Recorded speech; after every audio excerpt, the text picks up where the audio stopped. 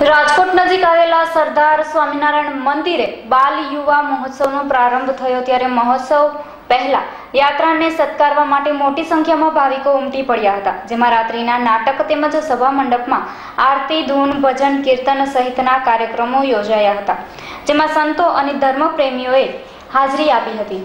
અહેવાલ વિજય મકવાણા.